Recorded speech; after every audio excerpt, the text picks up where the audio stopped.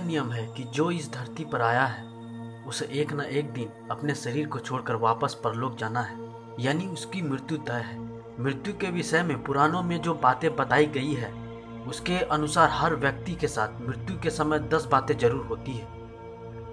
जब किसी व्यक्ति को पानी में, तेल में, दर्पण में अपनी छवि नहीं आए, या उनकी परछाई विकृत दिखाई देने लगे तो ऐसा माना जाता है कि व्यक्ति के शरीर त्यागने का समय नज़दीक आ चुका है।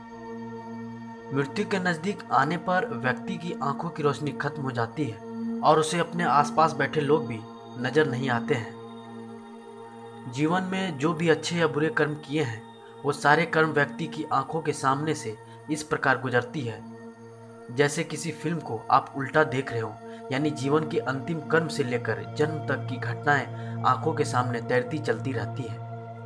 जिनके कर्म अच्छे होते हैं, उन्हें अपने सामने एक दिव्य प्रकाश नज़र आता है, और व्यक्ति मृत्यु के समय भी भयभीत नहीं होता है। गरुड़ पुराण में बताया गया है कि जब मृत्यु की घड़ी निकट आती है तो यम के दो दूत मरने वाले प्राणी के सामने आकर खड़े हो जाते हैं। जिनके कर्म अच्छे नहीं होते हैं, उन्हें अपने सामने यम के भयंकर दूत खड़े दिखते हैं, और वह भयभीत होता रहता है।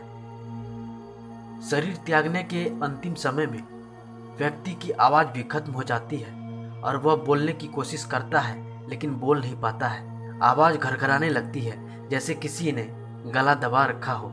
आत्मा जीवन की सभी घटनाओं को, यानी कर्मों को, अपने साथ लेकर शरीर को त्याग देती है और यमदूत व्यक्ति के अभौतिक शरीर को अपने साथ लेकर यमराज के दरबार की ओर ले जाते हैं।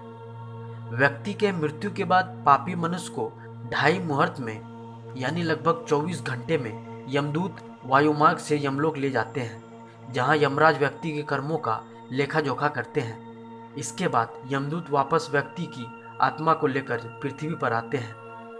तो दोस्तों, उम्मीद है कि आपको ये वीडियो पसंद आया होगा। तो दोस्तों, वीडियो पसंद आए तो मेरे चैनल को सब्सक्राइब करना मत भूलिएगा। धन्यवाद दोस्तों।